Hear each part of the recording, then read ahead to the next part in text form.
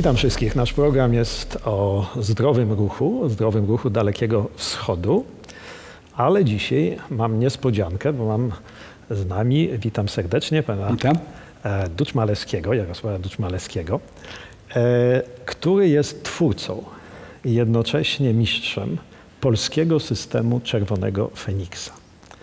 Jest to dość intrygująca nazwa. E, Zanim przejdziemy do wytłumaczenia, czym jest właśnie ten system, czym się różni, w jaki sposób go Pan stworzył, to może przez to, że jest Pan od lat e, adeptem Taoin, e, porozmawiamy przez chwilę o Daoin. Taoin czy Taoin. E, Panuje taki obiegowy, e, obiegowy pogląd, że Taoin jest rodzajem taoistycznej jogi. Czy to jest dobre porównanie, czy nie? Och, po prostu my ludzie mm, zachodu próbujemy zrozumieć wschód. Mm, Rudyard Kipling kiedyś powiedział, że niestety to nie jest możliwe, że- żeby człowiek zachodu zrozumiał e, daleki wschód i szukamy po prostu takich e, wyznaczników, takich mm, metek, żeby przypiąć, że to jest do czegoś podobne. I można znaleźć bardzo dużo podobieństw między mm, jogą hinduską, a ćwiczeniami mm, Daoin, Taoin y, jest dużo podobieństwa. Natomiast y, jakby trochę cele się różnią, więc nie można tego jakby postawić znaku równości. Mhm. Czyli czym jest Taoin? Taoin jest pewną formą ruchu, ćwiczeń wewnętrznych. Y, Nie można też powiedzieć, że one są jednorodne. Mm, Ja odbieram Taoin jako taką mm, swoistą piramidę. Y, U podstawy tej piramidy są ćwiczenia, można powiedzieć, skierowane do wszystkich. Te ćwiczenia mają usprawnić nasze ciało. W związku z tym one się, mimo podobnych ruchów, nie są tak ekstremalne jak w jodze e, hinduskiej, jak w hatha jodze, e, w jodze ashtanga na przykład, e, gdzie te ruchy są dość ekstremalne. Tutaj ciało nie jest narażone na taką dużą ekspresję i w związku z tym to są łagodne ćwiczenia.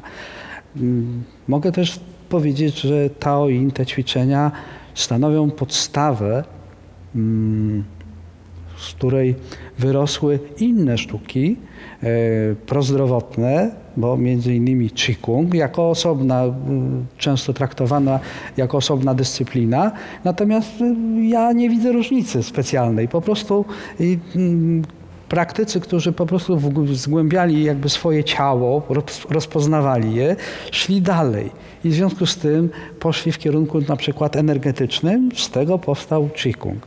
Ale bardzo dużo elementów Taoin można zaobserwować w formie rozgrzewki w dalekowschodnich sztukach walki. Jeżeli zobaczymy, jak rozgrzewają się aikidocy, jak rozgrzewają się karatecy czy mistrzowie kung fu, zobaczymy, że tam jest dużo bardzo podobnych ćwiczeń, no bo my wszyscy składamy się z czego? No z dwóch kończyn, No z czyli czterech dwóch nóg, tak, ale mówię dwóch kończyn tych dolnych nóg, z dwóch kończyn górnych, z głowy, prawda, i z tułowia. I to wszystko trzeba jakoś tam rozgrzać, uruchomić, prawda? I teraz znowu to wszystko zależy, ile w to wkładamy tej naszej fizycznej energii i co chcemy osiągnąć. No właśnie, e, niektórzy proponenci, no jednym z takich ich bardziej znanych, może bardzo medialnym jest e, niejaki Mantak Chia, prawda, z Tajlandii, który, który stworzył, który no, jest na pewno bardzo medialną osobą i on tą medialność e, w jakiś sposób stworzył również w oparciu o stwierdzenie, że ćwiczenia typu Taoin są również bardzo dobre, jeżeli chodzi o sprawność ogólnie seksualną. To się rzadko mówi. E, O tym natomiast e, napisał książki na ten temat i ma oczywiście wiele osób, które e, próbują tych różnych praktyk, zarówno osobnych dla mężczyzn, osobnych dla kobiet, jak właśnie z Pana punktu widzenia, jeżeli ten temat, który no, nie, nie powinien być zbyt drażliwy, jest Nie, to prawda, część, e, część naszego jesteśmy. życia, prawda?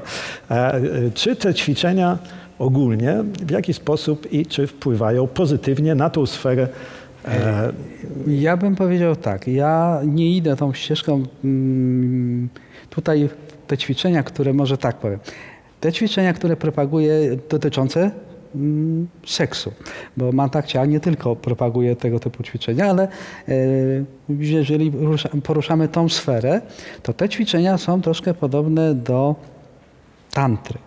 Do hinduskiej tantry. Tutaj jest pewne podobieństwo, e, pewien sposób myślenia.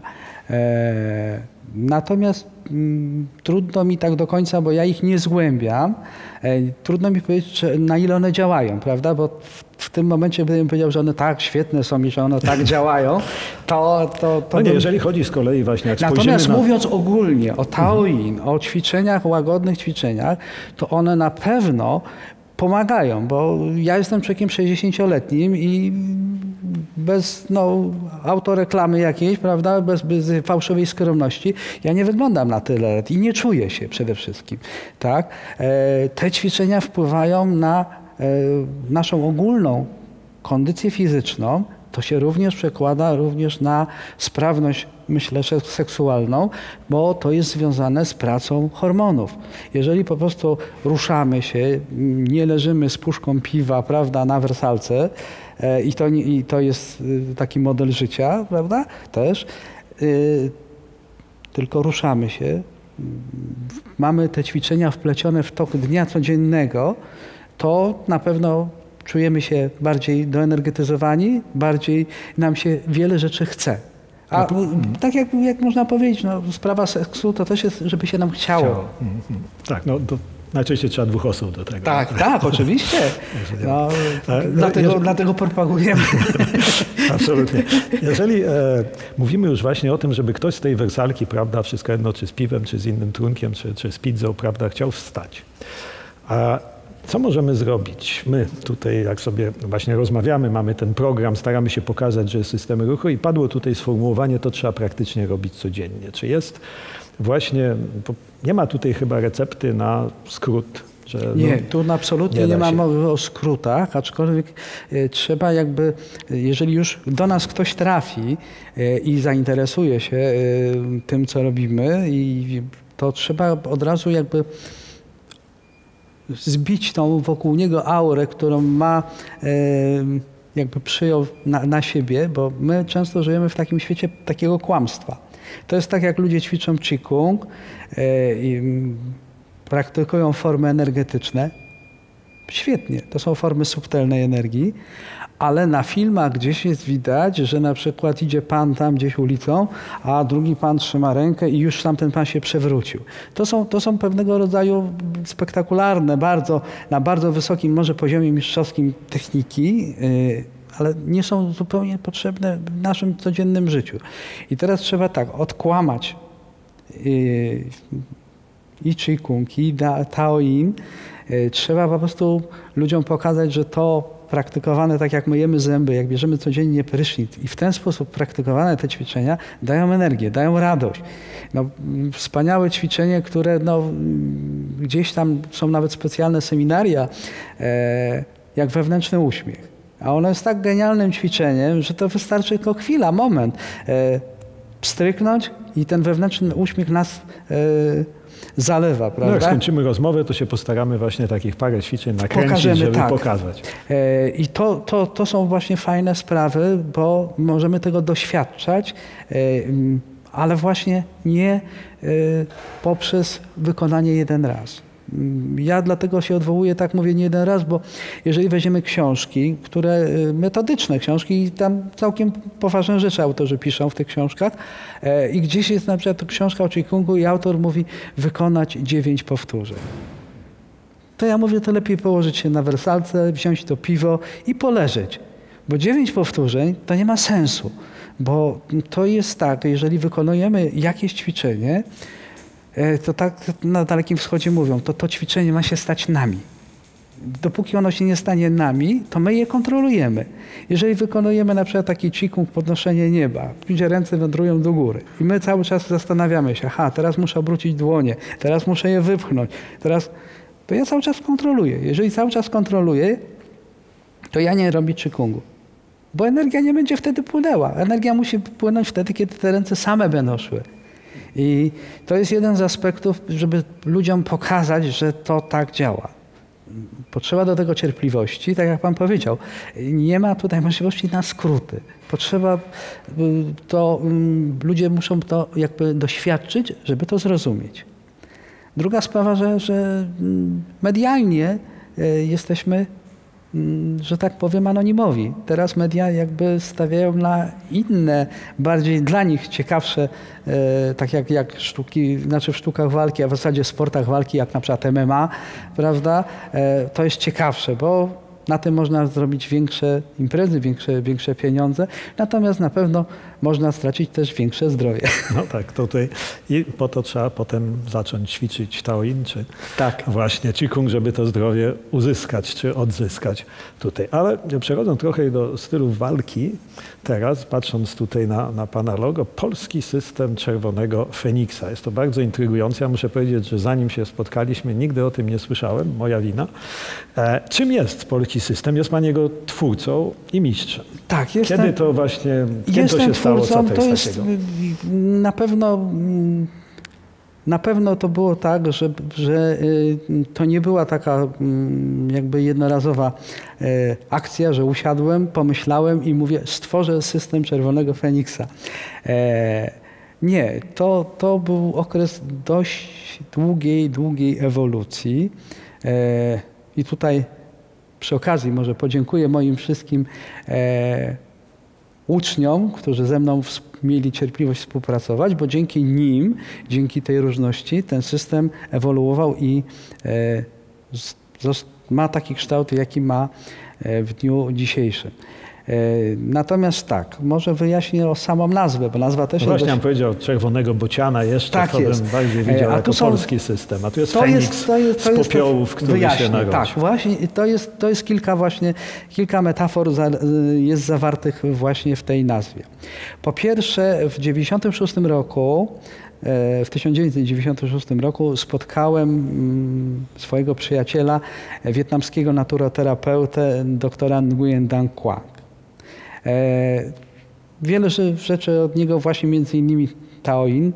E, nauczyłem się, zgłębiałem e, również z zakresu bioenergoterapii, z zakresu mm, jego ogromnej tak, wiedzy. Tak, bo słyszałem, że jest Pan również energoterapeutą i Jestem również hipnoterapią, tak. co jest dość niebezpieczne w tej rozmowie. E, nie, raczej nie, ale jestem bioenergoterapeutą, też jestem i hipnoterapeutą.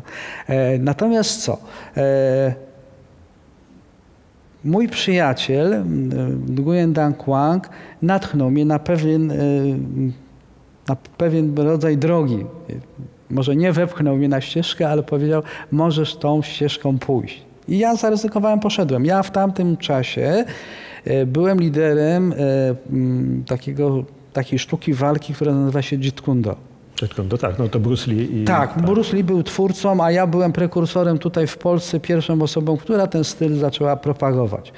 I mm, można powiedzieć, że y, nie powinienem narzekać na to, bo ten mit jeszcze Bruce'a był dość mocny w tamtym okresie czasu i, I ja powinienem po prostu, że tak powiem, surfować na fali tego ogromnego zainteresowania. Ale stwierdziłem jedną rzecz. To jest fantastyczne. Ja się rozwijam, ja idę do przodu, ale moi uczniowie niekoniecznie nadążają za mną.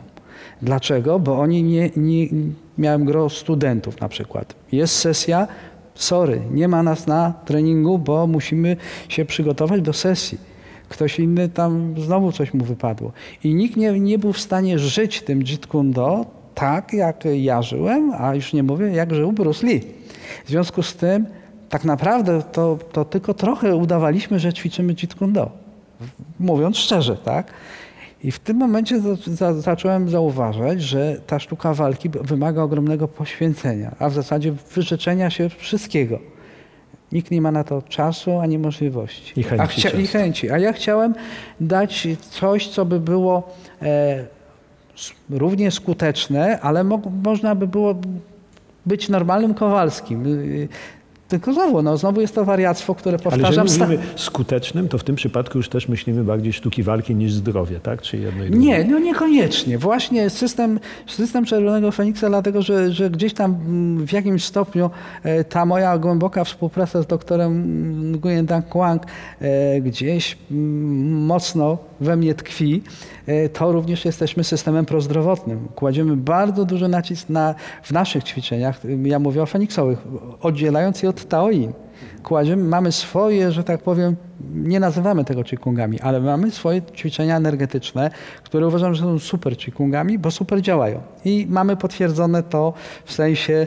Czyli ćwiczenia energetyczne rodzaj Qigongu. Tak, rodzaj Qigongu. Ja po prostu mówię Teraz dlatego Qigong, dlatego Qigong, bo, bo wszyscy rozumiemy. Tak, bo tak, tak wszyscy rozumiemy. Natomiast jako polski system staramy się stosować polskie nazewnictwo, żeby, żeby to było po prostu dla Kowalskiego. Ja ciągle zawsze powtarzam, to ma być dla Kowalskiego, nie dla Pudzianowskiego, nie dla Nastuli, tylko dla y, y, właśnie Kowalskiego, żeby ten... I oprócz tych właśnie ćwiczeń e, energetycznych, jakie ćwiczenia wchodzą w ten zakres? Czy w ogóle jaki jest cel tego? Czy to mamy E, skierowane na samoobronę, skierowane Tak, na... znaczy samoobrona, tylko teraz znowu z kolei, bo tutaj prosiłbym o doprecyzowanie, bo, bo samoobrona to, to często nam się kojarzy z czymś takim, że ja po prostu czekam na atak i dopiero się bronię.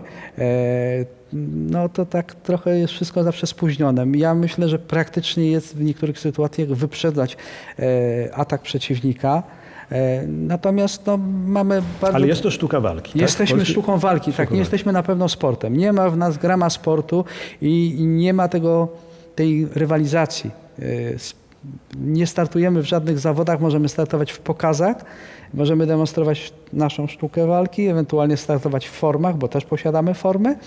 Natomiast Ale czerpiał Pan z jakichś innych stylów nie. tworząc, czy, czy to po nie, prostu... Nie, na początku była fascynacja Pakła Chang, systemem, który znam, y, który nauczyłem się od doktora Kwanga, system Białej Kobry Pakła Chang od taoistów, y, ciekawostka, y, z Kambodży. W Kambodży istniała swego czasu ponadmilionowa grupa taoistów i zostawili po sobie pewien ślad właśnie no, ślad ze wiedzy, na historię, no, a potem przyszedł, a potem wiadomo, przyszedł hmm. Pol Pot i to, co się stało, to zostało zmiecione w proch i pył. E, I, i trochę mnie fascynowało Pakła, ale to Pakła Chang jest tylko po prostu widoczne w pewnych ideach. Nie ma żadnej techniki która byłaby podobna do czegokolwiek. Dlaczego? Powiem, wyjaśnię. Ponieważ mamy bardzo specyficzną gardę. E, nasza garda jest gardą w formie klinu. Ręce mamy w ten sposób trzymane. I to determinuje powstanie technik przy użyciu tej gardy. To jeszcze może nazwa, bo rozumiem, że będziemy mieli małą demonstrację później, jak wygląda ten styl. Skąd wzięła się jeszcze nazwa? Bo no, polski, polski, tak. wiadomo. Więc już wyjaśniam dwie rzeczy, bo powiedziałem, mhm. że ukryte w symbolu jest ukryte, ukryte są dwie metafory. Jedna metafora, tutaj Pan wspomniał o Feniksie i popiele, tak? I tutaj jest to, że ja po prostu mając ogromną e, sekcję Jeet Kune Do, zrezygnowałem z tego. Po prostu poszedł, zostawiłem to wszystko doprowadziłem to do stanu po prostu popiołu i z tego popiołu powstał Feniks. E, z tą grupą moich uczniów, którzy chcieli ze mną pójść drogą eksperymentu. A czerwony? Proszę? Czerwony. Czerwony. Już mówię. Czerwony Feniks to jest symbol, e, który pokazuje na chińskim kompasie południowo-wschodnią Azję. I tutaj to był ukłon w stronę doktora Nguyen Dan Quang, ponieważ on nie chciał jakby mimo że sam jest praktykiem Wing Chun. E, nie chciał e, być, że tak powiem, mm, on mnie uważał za twórcę, więc w związku z tym nie chciał, żebym ja go w jakikolwiek sposób wyróżnił. Więc ja chociaż w ten sposób go wyróżniłem, symbolicznie kierunkiem właśnie tej południowo-wschodniej Azji. E, no, znowu z kolei jego ukłon w moją stronę, e, mimo że on posiada przeogromną wiedzę, on e, wstąpił w szeregi mojej organizacji. Także no, no to jest piękna historia. Ale my jesteśmy, znaczy, my jesteśmy, znaczy ja cały czas mówię, próbuję do niego mówić per mistrz, prawda, no ale jesteśmy na zasadzie przyjacielskiej stopie i, i, i łączą nas relacje takie bardziej no, koleżeńsko-przyjacielskie. No tak jak powinno być między mistrzem a uczniami, prawda? Tak. W tym przypadku mistrzowie wymieniają się e, wiedzą i doświadczeniem. Także Panie Osławie, dziękujemy uprzejmie ja za rozmowę. Dziękuję. Wszystkich Was zapraszamy e, do odcinka, w którym będziemy prezentowali z jednej strony Darin w wykonaniu e, pana Jarosława i jego przyjaciół, ale również coś, co może być premierą dla większości z nas, to znaczy parę ruchów polskiego systemu Czerwonego Feniksa. Dziękuję bardzo.